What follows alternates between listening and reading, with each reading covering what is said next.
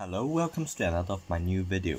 Today I'm going to show you one of my favorites and one of the very interesting oscillators I've ever seen in my life. A base-fed oscillator. Here you can see a resonator coil connected with a capacitor in series. Usually the capacitor and coil is connected in parallel but this case they are in series. Here same, same circuit arrangement to the transistor oscillator. And what's more interesting about the circuit is that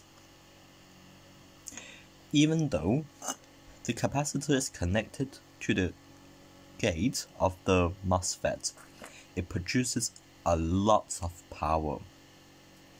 This oscillator is very very fascinating. I've seen from quite a lot of Russian channels. They post about the same oscillator. They don't tell you any construction details until recently. On some HF SSTC circuits, they've shown you something similar. This is the main reson the resonance part, connected with the Tesla coil for the resonance. But however, Circuits produce a lot of power, also high voltage, to the gate make it even more fascinating as the gate doesn't get blown up. Simple as that. With a filter coil, which I would like to call it about. This coil technically can be in at any value, but sometimes certain value works better for a certain application for this coil circuit. You can replace the MOSFET with a vacuum tube for even higher power. As you can see, that Russian channel doesn't like to post much details of, const of construction this oscillator. To this point, they can connect a, also a Tesla coil and they will produce a very very high frequency arc which look like a normal flame, which I wouldn't go into any detail, but this part is high voltage. Here I've connected up to a power supply. Here we have a mecha capacitor, or mica if you want to pronounce it. And the things is that the capacitor will be usually around 100 pico to 500 picofarad, depending on the resonator for the best working condition. But you need to make sure it's a high voltage one. Also because it's better to have a air variable resist uh, variable capacitor or condenser. So for the power dissipations, I'm gonna stuck the capacitor to a fan. So make sure it stay cool for the whole way. And now I hook up to a lab bench power supply. Now start applying voltage.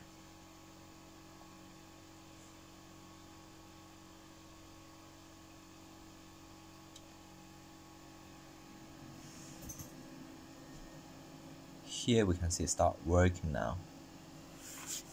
Great. Here I've got myself a RF detecting pen which I will make a, video in the future with two germanium diode. and you can see it glows brightly. The reason to use germanium diode is for high switching applications and the low trigger voltage and being amplified by a transistor.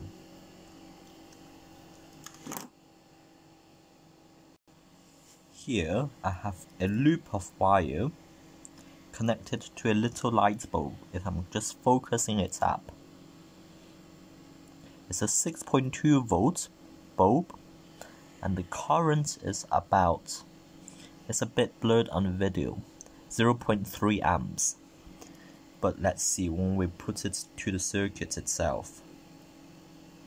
See, just take close as you can see, I've, um, I've been putting another choke to the feed line to prevent any RF from getting out to the circuit and cause interference. It glows brightly just by placing it here to the connections of the capacitor as it can pick up enough electric field or magnetic field in this case. If we just insert it into the coil of the resonator, it glows even brighter. To increase the potency, I'm just gonna stop the power supply. We'll be making the loop even more significant.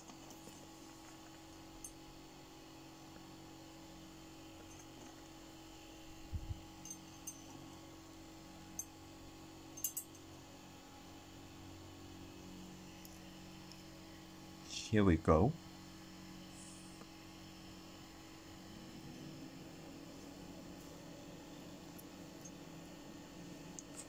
And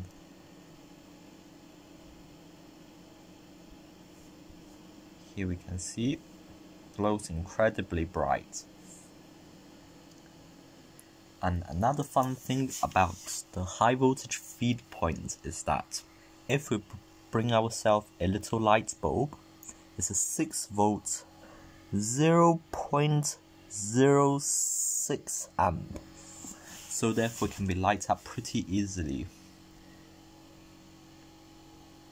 or I think I should change a even higher power one.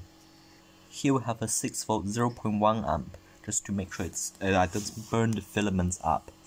Holding to the bulb by the base we increase the power.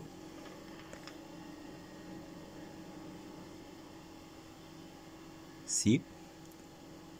Increase the voltage a little bit more. Perfect. See that's all the energy. Is being connected to the filament has been resonated. And it does not shock you because of the skin effect. And anyway it's also really low voltage in this point. But if we bring ourselves a gas discharge lamp and increase the voltage even further, here we can see the bulb start light up and this in ultraviolet. And we can put in the bulb into the coil and look incredibly bright on the camera. But in real life it's pretty dim just to spoil it for you. And the voltage here right now is at 15.8 volts.